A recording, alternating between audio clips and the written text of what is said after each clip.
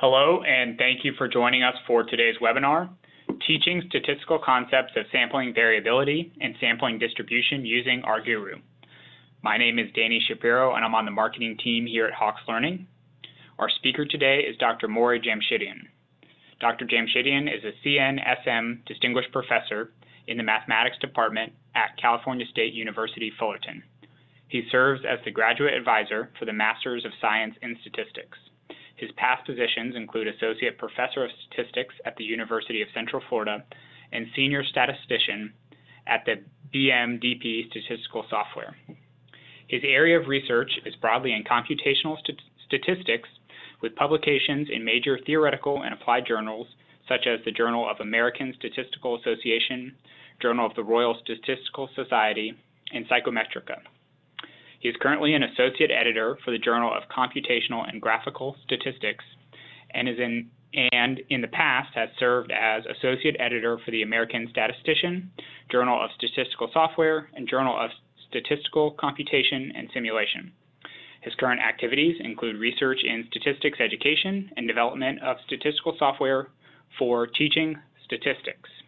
All right, so you, as you can see, this software is um, divided into different parts, data, plots, analytics, and probability and simulation. And I will be using uh, pretty much um, everything, um, all of these sections in my, um, uh, in my uh, talk today. So let me begin uh, with a plot here. And I have already created a plot uh, in, um, for this webinar and this is a pie chart of uh, the distribution of ethnicity of undergraduate students at Harvard University. Um, the idea here is uh, that I will present uh, simulating from this population, that is the, the population of undergraduate Harvard, uh, undergraduate students at Harvard University, um, and um, we would we are interested in, for example, estimating the proportion of white students or Asian students, etc. So you can see that uh, there are 44% white um, in at Harvard, 17% Asian, 12% um, international, etc. And um, so the way I would start this, first of all, by the way, I would usually use um, my own university uh, ethnicity data, but I just chose Harvard here because it's a famous university um, that everybody knows about. Um, so uh, the way I would start this is I would ask my students, suppose that I take a sample of size 100 from this population. And, um, you know, how many white students do you expect in that sample? And, you know, they would see the 44% here.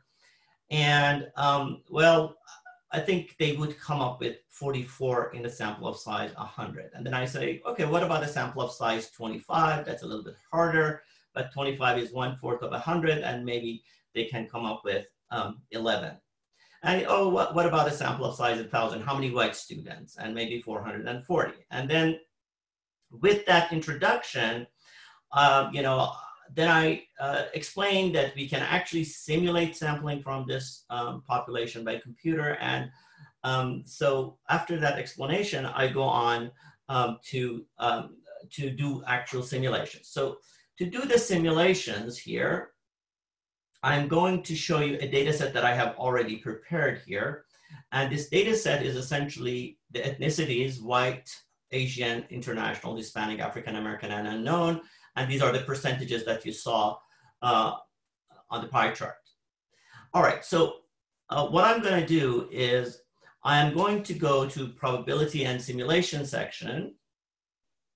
Uh, so let me just go to the probability and simulation section here and open random selection. So what this random selection does is it randomly selects from a given data set. So in particular, I want to random, take a random selection from this particular data set.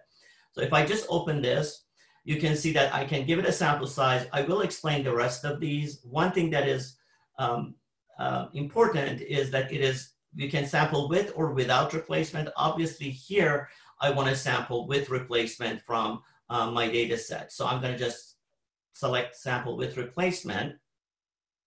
And let's say that I take a sample of size 100 and intentionally I'm going to do something wrong at the beginning. In other words, my samples are not going to be representative. So let, let's just do this. Um, and just as a, um, so I need to select the data, data set. So I'm going to just go ahead and select my data set. In fact, just so that I don't see this clutter, clutter of data set, what I prefer to do is just go ahead and uh, filter Harvard um, ethnicity here and then come back and um, so I don't see all of my data sets all the time here. So I can just do that. So if you filter, you can just see only the data set that you're working with. So I'm going to just go ahead and select Harvard, and I'm going to take a sample of size 100 here. And um, so um, let I would say go, and I will explain to students, okay, so uh, the first person that I observed was an Asian, the second person was Asian, uh, you know, the third person was Hispanic. And in fact, these are just the percentages that were in the data set. Let's just get rid of them and just say, let's just sample from first column only. Uh, because uh, when, it, when you sample, it samples both columns. So let me just do first column only. So I just only get the ethnicity values. All right. So now um, the question is, well, we had discussed that, for example, we expect about 44 students in white, right? Well, let's see how many white we got. What I can do here is I can right click here and I say group by ethnicity. And in particular, let's look at white, number of white students. Well, we got seven students and that's very strange, right? Okay. Um, well, what about Asians? Well, we got 23. Uh, well, we expected, remember, about 17%. So 17, well, maybe it's not that bad. Uh, but certainly the white doesn't seem to be, the number of whites in our sample doesn't seem to be right. Um, then I would do, then what I would do next is I would say, okay, maybe, you know, is it impossible to get seven uh, whites in a sample of size 100? It's not impossible, but it's improbable.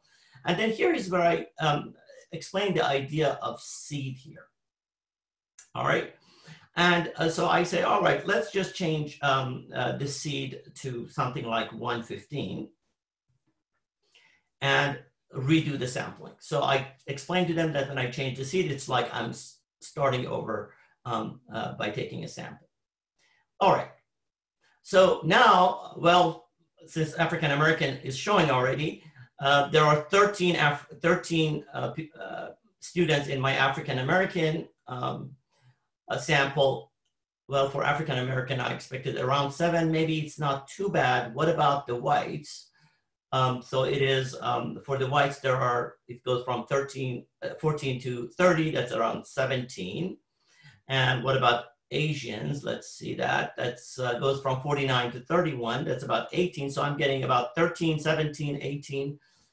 And so now here is what I explain um, to students that what is wrong here, and, I generally ask them, what do you think is wrong? And um, so the idea of what is wrong here is that if you look at this data, what we have been doing is taking actually a sample of ethnicity with equal probability for white, Asian, international, Hispanic, African American, and unknown, whereas we actually want percentages to follow this percentage column. In other words, we want our sample to have 44% white, 17% Asian, etc. So how do we do that? Well, we go back and let me just start just a new uh, random selection here and just do it in a new tab. So let me just, don't save and close this one. Uh, so let me just, again, um, select my um, data here uh, and uh, let's do sample size 100. And now here is what I'm gonna do. I'm gonna say, do, do the sampling with um, uh, you know, percentages um, as uh, the proportions for each um, ethnicity group. Um, all right, so, and then let's just choose one call, first column as well. And let's see how we do now this time. Well, so let's again um, group by ethnicity here. So how many whites did we get? Wow, now this time looks good. We got about 40 whites. You know, we expect about 44 whites, right? And um, then, um, you know, let's see, what about um, Asians? You know, I have uh, 62 uh, to 41. That's about 22 Asians, which is not too bad. I expected about 17. what about African Americans? Around five, and I expected around seven. Now it looks like the sample is, um, is fine and I should be um, uh, good. Now, what I wanna do now is I wanna look at the sampling variability in uh, with a little bit more uh, detail and I wanna zoom on it a little bit. All right, so again, let me um, just go ahead and open a new one, just um, a new random selection here. And I'm gonna just take the Harvard ethnicity. All right, so in order to show this sampling variability, what I'm gonna do is I'm gonna use this idea of replication and I'm gonna introduce the idea of replication. So let's say that I take a sample of size 10, and I replicate three times, and of course I wanna choose my probability to be percentages and take a sample from column one. All right, uh, so here you can see that I have sample one. There are 10, um, 10 individuals in sample one. There are 10 individuals in sample two, and there are 10 individuals in sample three, right? And uh, for the moment, let's focus on proportion of white students. So if I look at, for example, sample one, how many white students do I have? I have one, two, three, um, four, and five here. And let's say in sample three, how many whites do I have? I have, um, let's see here, um, one, two, and three here, right? Okay, so what I'm gonna do is I'm going to ask um, uh, Rguroo to actually compute sample proportions for each of these. All right, now I explained to students that, that, the sample proportion is a statistic, therefore I'm gonna ask Rguroo to compute a statistic. And here what you can do is you can actually use R code to write um, different um, statistics that you are interested in. And I'm gonna just write a statistic of computing sample proportion for each of the samples. So as I said, I'm gonna focus on white students. And actually to get the proportion of whites, I could simply say mean of ethnicity equal equal white, and I will get what I want. But this might be a little bit hard for students to understand um, how this results in proportion of uh, white students. So I'm gonna take it step at a time. And I'm gonna say, well, let's first of all determine the sample size. The sample size I can determine n length of, and notice the variable names are here and I'm gonna click on them so that I don't mi misspell them. So length of ethnicity, because each sample, there are, you know, for example, is a vector really. And so n equals length, length of ethnicity in this case is 10. So it's gonna give me the sample size. So I'm writing a little bit of an R code here. Um, for your classes, you might have this prepared ahead of time or um, you know, I'm not sure how important it is for you to explain necessarily the code. I do spend a little bit of time explaining the code to them. Then I want to compute the number of whites. And I would say this is equal to the sum of um, uh, ethnicity uh, equal equals white. And again, I explained this. What happens is ethnicity equal equals white. When it looks at, when you look at this, these data, whenever it sees a white, you're going to ethnicity equal equal white becomes equal to one. Whenever it's not a white, it becomes a zero. So you have like one, one, zero, one, etc. And then when you add all of those, you get the number of whites. And of course, the final thing that I want is um, the number of whites um, divided by n, which gives me the sample proportion. So let's do that. Uh, divided by n here. Okay. And uh, let's go with that. All right, so you can see that, you know, I got 50% white in the first sample, 50% white in the second sample, and 30% white um, in the third sample, okay? Now what I'm gonna do is just to, to see this, the, the variability a little bit better, I'm going to change my replication to 100. So I'm gonna replicate 100. So these are representing now 100 samples of size. The proportions, sample proportions for 100 um, samples of size 100. And let's save this as, um, let's call it uh, prop, uh, prop N10. And let me just also do that. Let me just explain also to you what's the difference here. So when I do this save as here, I do get actually um, everything that I have done here um, will be saved right here. And in fact, I'm going to share it with you at the end of the seminar through RGR files. Um, so all of the parameters of the dialog box are saved. If I want to use the data set, I will save it as data set. And then you see that the data set is saved and you're going to see it right here that it appeared in data uh, sets. Okay. All right. So let's take a look at a dot plot of this. It's always good to, to use graphs to um, show, uh, you know, uh, values. So I'm going to just go ahead and use this prop n10, and I'm going to select white, which was the name, name, the name of the variable. And I'm going to just go ahead and produce the dot plot.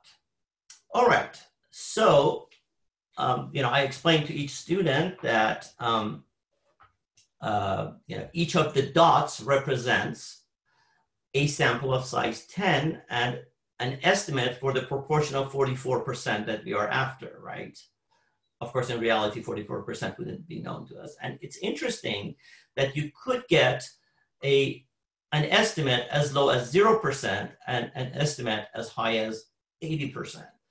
The fortunate thing is that most of these um, values are, you know, between, uh, let's say 0.3 to 0.5, right? Um, all right, so, uh, so that is good. There is one more idea. So let, let me just go ahead and um, save this as well, plot plot and 10, let's call it. So we have it for later reference. Okay, um, now uh, let's um, go ahead and look at one more idea here. If I just go to the data and I right click on this data set and I ask for, give me summary data.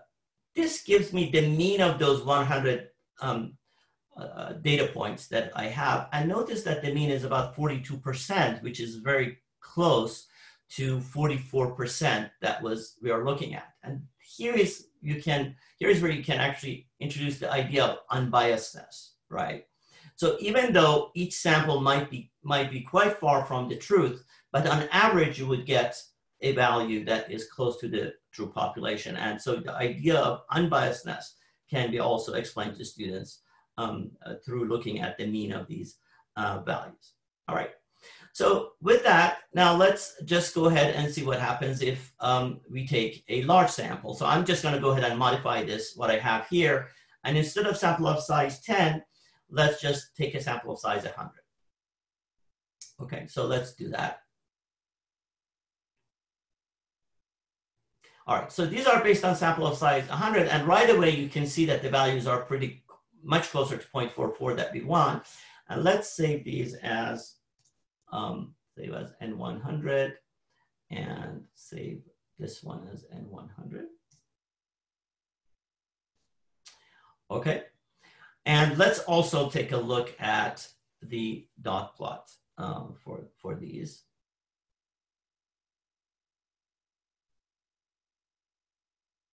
All right, so I'm gonna just go ahead and select N100 and I'm gonna go white here. And now you can see that actually the values are much closer to that 0.44. In fact, we got a whole bunch of values, um, uh, well, at least six values at 0.44 itself. But interestingly, even with a size um, 100, you still get a data point that is way out there, or at least it is pretty far um, uh, from 0.44, which is 0.65, I guess, in this case, right? All right, um, or, or maybe around 0.7. All right, uh, so uh, let's go ahead and go to the summary statistic again for this and take a look at the summary statistic. And the mean here again is right on the money. It's 0.44. And again, the idea of unbiasedness. So the idea is that the bias, regardless of the sample size, uh, the sample proportion is an unbiased estimator of the population proportion. All right. Okay, so that is um, a little bit about showing students different sampling variability. Let me just save these things here and 100. I want to save these. So what I do is actually I save everything that I do during my lectures and I will say I will share them through RGR file with students and that's what I'm going to do after the webinar. I will share these um, with whoever is watching the webinar or, or whoever is going to go to the link to, to get the, the uh, information. Okay, so now let's change gears here. Let me, I don't think I need this one. Um, let's change gears and um, look at sampling distributions. In order to look at the sampling distributions, I will need to do more replications, okay? So let's go back to probability simulation and random selection here. Uh, I'm gonna select my Harvard ethnicity. And um, let me just take a sample of size 10 here, okay? And um, now I'm going to replicate 10,000 times, so I would be able to see the distribution better. And of course, I want the probability here, the percentages, and I want to sample column one. And I want to come up with this statistic here, right? Which is the proportion of whites here. Let me just say white. And this time I'm going to do the shortcut. I'm going to just simply say mean. Rather than writing three lines of code, I could just say mean of um, ethnicity equal equals white. And I want to add one more statistic, and that would be about African Americans.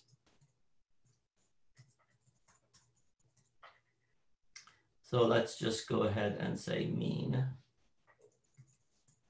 of ethnicity equal equal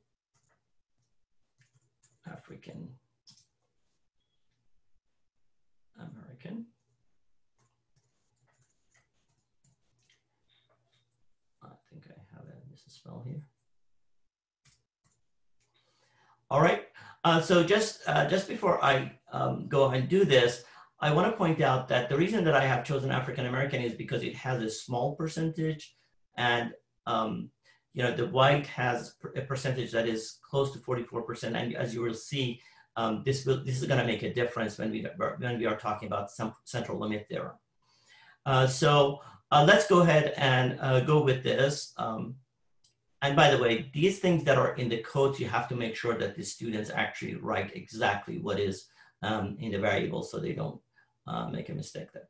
So notice that, you know, when I run this, you know, this goes within a few seconds, you got you have essentially, um, you know, generated a sample of size 10 for each sample you have computed the proportion and you have done this 10,000 times. So I have 10,000 values here.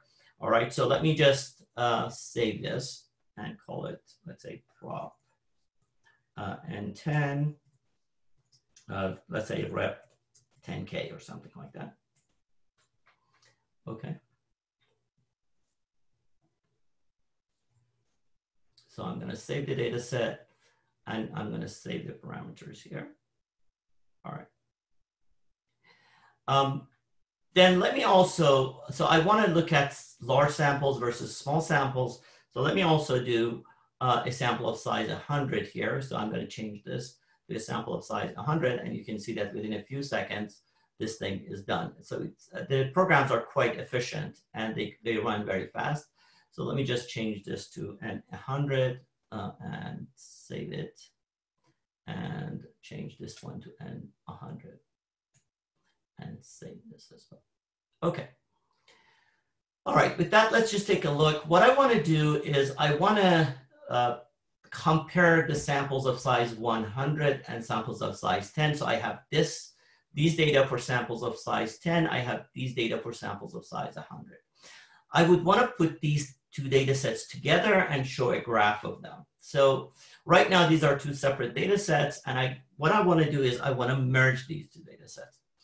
In general, I think it's important for students to understand merging data sets and what merging means. So I want to put these things side by side. And usually in my classes, when I teach exploratory data analysis, I teach them these types of concepts of manipulating data like merging and appending and all of that.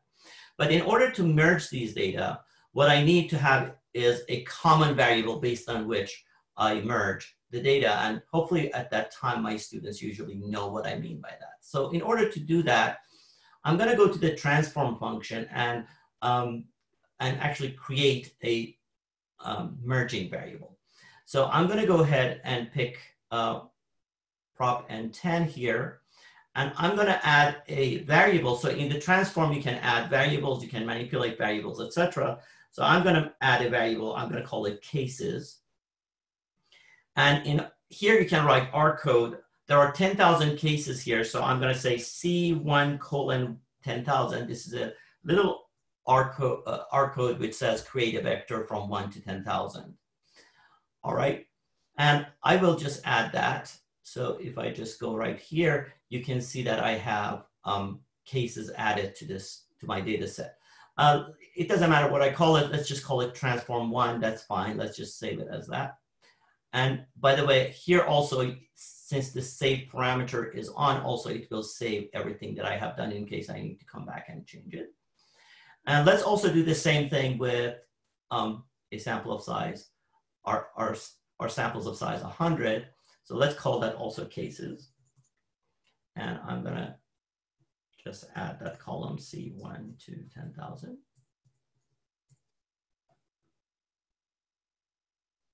Okay, so I added the cases again. By the way, the case number that you see here, this is these are just used, uh, uh, these are just generated by Rguroo, and it's just the case number internal to Rguroo. But this this is the variable that I have uh, created. So let me call this transform two here.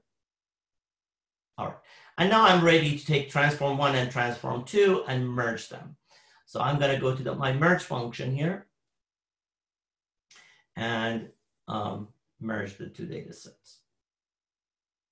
So I'm going to take um, transform one, I'm going to take transform two, and I'm going to add emerging variable, which is cases. So what this is doing is essentially, um, you see you have case one, so you can see there's white X, African American X, so this is case one in the first data set, which was based on a sample of size 10 white Y, American white. This is the white and African American, sorry, African American um, for case one from the second data set. So essentially case one from first data set, case one from second data set, case two from the first data set, case two from the second data set. So these are all uh, together now. And I need to save this um, uh, here. And let's save it as, maybe we can call it all prop or something like that. All right. So what I want to do now is I want to go to the dot plot and see how the distribution of these um, compare. So let's just go to um, plots here. And I'm going to go to dot plot. Okay. And I'm going to select all prop and I'm, I'm going to see all of those. Let's first look at um, the larger sample size here.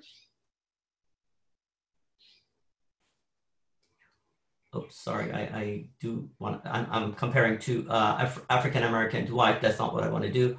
Let me just um, go back and search, search here. Sorry, uh, I wanted to look at these two. Yes. Okay, um, so uh, first of all, um, remember we are estimating, um, you know, the a population value of 44%. It's nice to just go ahead and actually put that 44% line there. So I can actually superimpose a line right there so we can see where, where our target is. So here you can write 0.044. It doesn't matter what you put for y because you want to have uh, a vertical line here. So I'm gonna just put one and two here.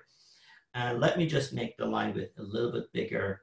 And let me just make, uh, let's say, a, a red line here. Uh, sorry, let me just do this and go. Okay, so you can see that actually the distribution is first of all centered at the true population value. You can see that this distribution looks pretty normal. So you can talk about the central limit theorem. Also, um, you know, this is, so the top one is based on a sample of size 10, the bottom one is based on a sample size 100, right? And so you can discuss the idea that even with a sample of size 10, you kind of are seeing this normality on the top part, right? the difference is the variances that are quite different here, right? Because these values are very much concentrated about the center, whereas you get, um, with the samples of size 10, you could get uh, estimates as low as 0% all the way to values that are higher than 80%. Okay, so what about looking at the African American distribution now? So let's do that.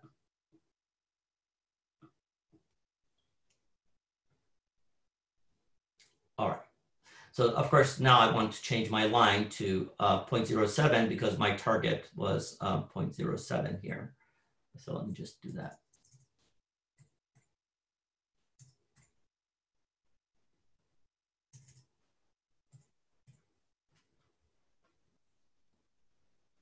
Okay, yeah. So um, interestingly, again, look at the top. This is based on a sample of size 100, right? And you can see it is certainly centered at 0.07, okay? And um, so, and it's normally distributed. But this sample of size 10 does not have a normal distribution. So here is where you can talk about the idea of how large should n be for the central limit theorem to take effect, right? And so remember, the, the population proportion is 0.07 here. In the previous case, the population proportion was 0.44, right? So these ideas that we talk about rules of thumb, like n times p has to be bigger than 5, can be communicated through here, right? Because the sample size, let's say, is 100. 100 times 0.07 is 7. It's bigger than 7. That would be the previous case, right? Which I showed you. And here, you know, if I look at 10 times 0.07, it's just 0.7, right, for this guy. And so that's why you can see that, um, you know, the, norm, the normality of uh, the central limit theorem is not taking effect. That is, how large should, should n be depends on the population distribution. And to, to put it in technical terms, right, um, for the African Americans, the, the population distribution is a Bernoulli 0.07 versus for the white um, uh, students uh, population, it is Bernoulli 0.44. So with that, um, let me just quickly go to uh, my PowerPoints now here, if I, if I can. And so, uh, so uh, I talked about um, uh, sample variation, um, and what was interesting that even random samples can produce outliers for you. We talked about unbiasedness regardless of the sample size. Uh, in some ways, we have shown law of large numbers. That is, uh, the larger the sample, the closer to the pop uh, to the population value you get, your, your estimates will be. Um, you can uh, have different exercises for law of large numbers using Rguroo, but you have shown that. And then, of course, you have talked about the central limit theorem and um, you know how uh, the distributions are normal, and more importantly, how um, the normality depends on n, and n how large should n be depends on the uh, population distribution. All right, uh, so with that now, I want to get into uh, some inference. Um, so I want to talk about coming up with a confidence interval for proportions, for example. Um, so I'm going to go through an example. Say that I want to obtain an interval estimate for a proportion of Hispanic students at my school. And suppose that I have taken a sample of size 100 and obtained a sample proportion of 0.35. Now, by this time, students know that, uh, you know, there, this 0.35 is not set in the stone, right? And there are variabilities, right? And hopefully they can appreciate the idea of having an interval estimate. All right, with that then the question is how do I come up with an interval estimate? Of course, classically we would have, um, you know, our formula for the confidence interval. Um, and in that formula, for example, if you notice, you actually take 0.35 as the population um, value. And this is the same thing, the same, I'm gonna use the same idea here and, I, and I'm gonna take this as my population value and I'm gonna uh, you know, determine the variability. What kind of variability is there in this sample? So uh, let's go to Rguroo again. I have actually prepared a, um, a data set uh, for this. Uh, let me see here. If not, I can, uh, let me just um, go ahead and, uh, my school, I think I've called it. All right, so let me just also close some of these IDs here.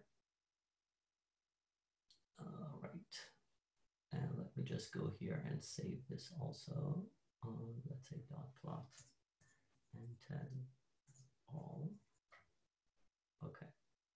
All right, so here's the, uh, the data set that I, um, uh, sorry, let me see here. This is not the right data set that I want. Sorry, let me just go ahead and create it quickly.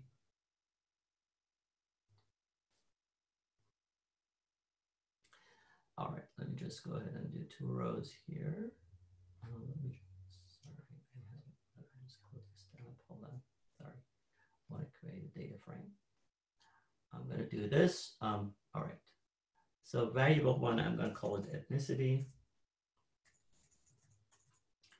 And variable two, I'm gonna call it percentages.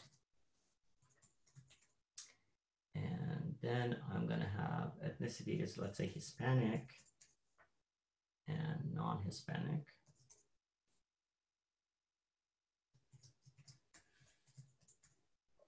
And then I'm going to have 0.65, uh, sorry, 0.35. That was the proportion that I had observed and 0.65 here. Okay, and let's save that here. Um, so let's say, um, let's call it Hispanic. All right. Okay, now I can go to um, my um, probability simulation and do the same thing again. I'm going to do a random selection and I'm going to take from Hispanic, let's say a sample of size 100 because that 0.35 was based on a sample of size 100. I'm going to replicate 10,000 times. Okay, and with the probabilities given with those percentages, all right. And um, I might as well say here, and the, statistic that I want to compute is, um, let me just add the statistic, which is Hispanic. And I'm going to just say uh, mean of ethnicity equal equal.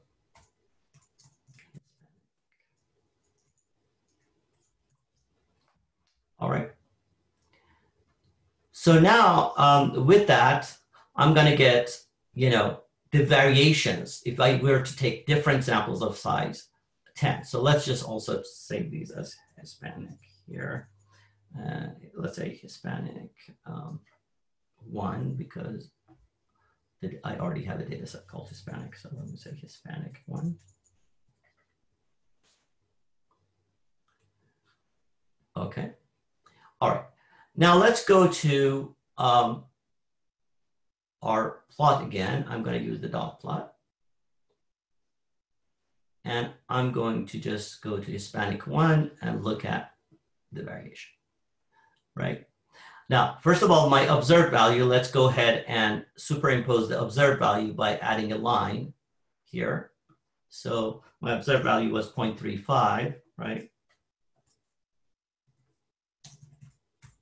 So as I said, the y value doesn't matter. So I'm going to just go ahead and make this red um, three. And let's just go ahead and add that. Okay, you see, the, the observed value is right in the middle, and this is going to happen all the time. But then I want, you can see the variation. If I were to take a different sample of size, then, you know, this is showing me that I might get a different value, right? And so if I want a 95% confidence interval, essentially there are 10,000 values here, and I want to see where the middle line, what is the range for the middle line 5%, which means that essentially I have to get rid of 500 from the tails, that means 250 from the first tail, and uh, you know, from the lower tail, and, and 250 from the upper tail. And so I want to find out what is the 250th point here, and what is the value of the 907 9,750th point on the right tail.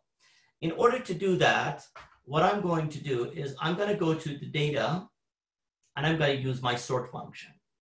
Okay. So uh, let's do this uh, bring the variable Hispanic, and, sorry, the data set Hispanic and our variable Hispanic and sort it. Now I have sorted my values and it says, you know, for example, the lowest percentage uh, was 0.19, etc. I want to look at my 250th value. okay? And the 250th value is 0.26. So that would be the lower limit of the confidence interval. And if I look at the uh, 9,750th value, that would be 0.44. So this suggests a confidence interval from 0.26 to 0.44, right? Now, if, if you go ahead and actually look at the usual computations that we do uh, for confidence intervals, um, you can see that this is based on the usual formula that uh, we use um, in our classic ways of teaching. So it's uh, point, you know, you get 0.26 to 0.44, so you exact pretty much got the same confidence interval. The difference being that, you know, when you're introducing only formulas, that the students just see some, uh, you know, procedural ways of doing, computing confidence intervals, whereas when you are doing it by simulation, at least they can see um, the variability here. So as a last piece, um, I want to also um, talk about test of hypothesis. And so I'm going to go ahead and do the following. Suppose that we observe a sample of a sample proportion of 35% like we did in our sample based on a sample of size 100. The question is, is this sufficient evidence to conclude that the proportion of Hispanics is more than 30%? So I'm testing the null hypothesis p equal to 0.3 versus the alternative hypothesis p bigger than 0.3. And uh, so, uh, you know, hopefully we have explained to students at, at this point that, you know, when we are testing a hypothesis, we assume that the null hypothesis is true. So we have to really see what kind of sample proportion we can observe if in fact the population proportion is 30%. So with that, let's just go ahead and um, uh, do a simulation for that, right? So let me uh, just go ahead and get rid of this now. And maybe I can uh, save this. Okay. All right. So uh, let me close this editor. All right. So I'm going to do this a little bit differently just to show you. We could do the same exact thing by generating, by actually uh, constructing a data set with 30% and 70% Hispanic and non-Hispanic, but I'm going to do this a little bit differently to show you another feature of Rguroo. In, instead here, I'm going to just use my random generator and I'm going to uh, use the Bernoulli distribution um, because essentially I'm saying that, you know, what I'm getting is either Hispanic or not Hispanic, not Hispanic. And the probability of success is what is in the um, null hypothesis, which is 0.30. The sample size that I had used was 100. And again, I'm going to replicate 10,000 times. Okay. Here again, you can write your own custom statistics, for example, to come up with the sample proportion, but then there are some statistics ready here as well. And as I explained, if I just take the mean of the Bernoullis, I'm going to get the sample proportions. Okay, so that's what I'm going to do.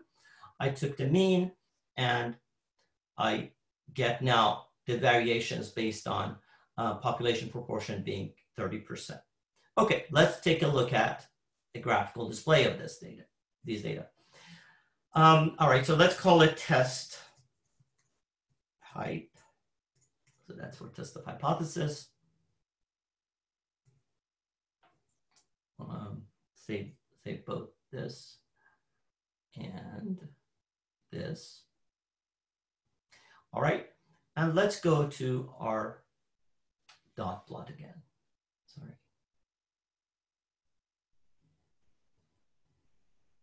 Okay. So this is the data set that I want to look at, and these are the proportions. And let's take a look. All right, so let me first put the 0.3 uh, line um, and also the line that is our observed value. Okay, so let me go to details here and superimpose the line. Okay, so 0 0.3, uh, 0 0.32, uh, let's make it 3 here, and let's make the color red maybe in the middle. And let's add one more line here and this is going to be 0.35. This is our observed line. Uh, 1, 0.35, 2, and then let's say three. And then I'm gonna go with a green line, let's say on this one. And now we are gonna run it. Okay, so first of all, the distribution that I have is centered at the population value that comes from the null hypothesis. And this is my observed value. And here, for example, to compute the p-value, I need to get the proportion of the, of the points that are at or right to the 0.35 line. So all of, I need to find out how many data, data points I have here. Remember, there are 10,000 data points and you need to remind your students of um, that. So let me also call this dot plot test of hypothesis or test. Okay. In order to do that, I'm going to do, again, you could use, for example, the sort to, for me to show you a diff, yet different, a different function. I'm going to go to subset here. And I'm going to look at test of hypothesis. And I'm going to add a logical expression here. And I'm going to say, look at those proportions that are greater than or equal to my observed value, which was 0.35, okay? So when I do that, I see that I have 1,674 of them. And that gives me 1,674 divided by 10,000. That gives me a p-value of 0.1674, which um, means I would not reject the null hypothesis. So this was an example of doing a test of hypothesis. As a last point, I want to show you also that you could actually do this in, for example, proportion inference. I have already made this um, uh, just to save time. So for example, you go here, you have the factor is ethnicity. Um, here, I guess I have it as a wrong, um, I had Hispanic here, I should have. 35%, um, uh, this was the sample size, you observed 35. You could do a, large sample z-test of hypothesis or, or a large sample, uh, sorry, confidence interval or test of hypothesis. And if you run this, you get your output and you can see that I got the confidence interval 0.26 to 0.4 uh, to um, yeah 0.44 here. And then here is the p-value. In this case is 0.14. I had come up with 0.16. Of course, these are different methods and they could lead into different um, results. All right, so that uh, pretty much um, ends uh, my demo. Uh, let me just uh, talk about tra training pricing and purchasing of Rguroo. Um, we have one one-on-one training avail available for uh, faculty members. Um, also, if you have a group of uh, you know your colleagues that uh, that want to see um, features of Rguroo, we have uh, training workshops for them. Um, the pricing, all instructors can get um, immediate and complimentary access for free. Um, and um, students um, licenses are 25 $20, sorry, for 12 months uh, subscription. And to purchase Rguroo from Hawkes, uh, this is the information you could uh, have your bookstores and the follow, the, use the, the following ISBN, the, the ISBN shown on the um, screen here, um, or you could uh, use um, uh, Rguroo's website directly uh, by going into the register section and um, registering for an account. Faculty, of course, can go to Rguroo um, website directly and get, get their free account at any time. So with that, I'll just turn it to Danny, and if there are any questions. Okay, thank you so much, Dr. Jamshidian. I will remind our audience that you can go ahead and ask questions in that question and answer box. You'll find that at the top or bottom of your screen. Um, there is also a chat window if you can't find the Q&A box that you can enter your questions in there. So we let me pull that up. We'll give the audience a minute here to start asking. And here's one. Um, have you used the statistical applets that can be used for teaching sampling distribution? And how would you compare them with the methods that you just presented? Um, yes, I have seen those and, and they are useful. Um, I guess the difference here is that when you actually um, have students go through the steps or the students actually see each of these steps, um, they can actually realize what is involved and how things are being generated. In applets, you usually have certain parameters that you know you move around and you just see different pictures. Whereas here you go step by step and see the whole process from the sampling, right, um, to computing a proportion and then uh, to looking at the distributions of uh, what you got. So this is a lot more instructive and especially, you know, I follow these with um, projects that they do and hopefully this helps uh, their understanding of sampling variability and sampling distribution. Okay, thank you. And another question, why did you use data plots for all of your graphs? Uh, uh, so uh, I guess you meant dot plot probably uh, is what I've been using. And um, so the reason that I use dot plots is because um, essentially each data, each, each of the samples that I take is represented by a dot. And uh, so that is kind of interesting, especially when I take like, uh, you know, when I do replications of 100. Maybe for the cases where you have like 10,000 replication, you can use a histogram and that works um, as well. Uh, so uh, it's just that I did, I just stuck to dot plot for this, but I think for a smaller number of replications like 100, a dot plot is pretty uh, useful and instructive to use. Uh, yes, that is exactly what the question asked. I'm sorry, I'm having uh, trouble with my words today. Um, we have we have another question. Um, what is the feedback from students regarding the ease of use and how steep is the learning curve? All right. So, um, are you? I'm assuming that you are referring to um, to Rguroo. In general, obviously, for any program, there is a, a you know uh, there is some learning curve. Um, um, usually, uh, you know, within a week, I think students are get pretty familiar with uploading data or graphing and things like that. And uh, we have found uh, it to be pretty easy to use. In terms of this, if you're specifically talking about sampling distributions, let me say that I have been really going through this very fast because I'm talking to an audience of instructors um, which are familiar with these concepts, and I'm simply trying to, uh, you know, introduce tools to you guys. Um, so when I go with my students, this goes a lot slower. And, you know, we, we do a lot of hands-on, a lot of uh, projects. And the learning curve I have found in terms of just using Rguroo is not at all very steep. Um, and, you know, within a week, I think in the lab, um, uh, we can, um, you know, students get pretty familiar and it becomes easy. Notice that, uh, you know, there are a lot of help available. There are videos in every dialog box uh, that they can watch. And there are also uh, question marks on every section of a dialog box that they can open and read and get help.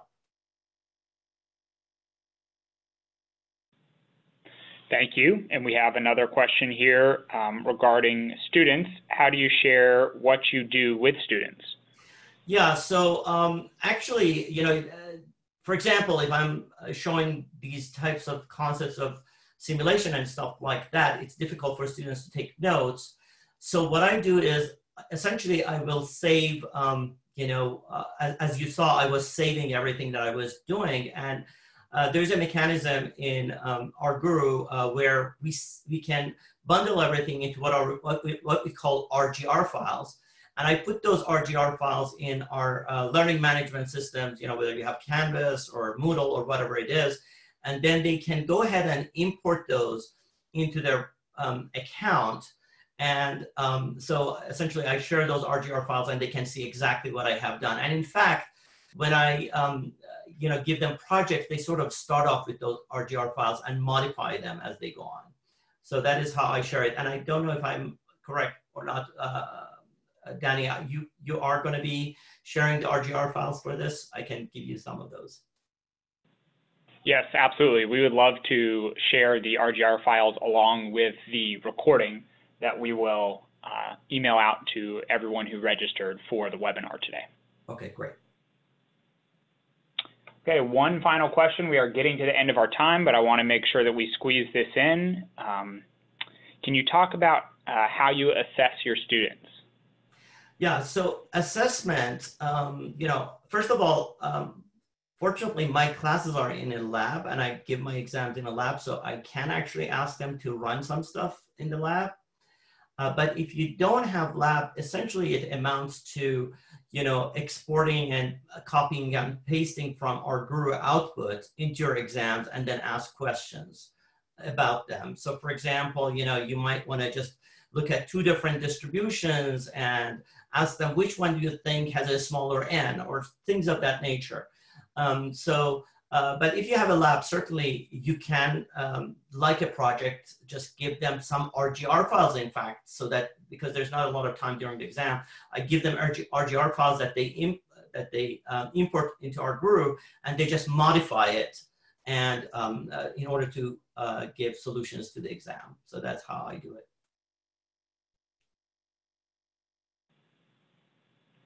Okay, well, Dr. Jamshidian, uh, thank you again so much for this presentation. Um, thank you to our audience for being here with us today as we approach the holidays.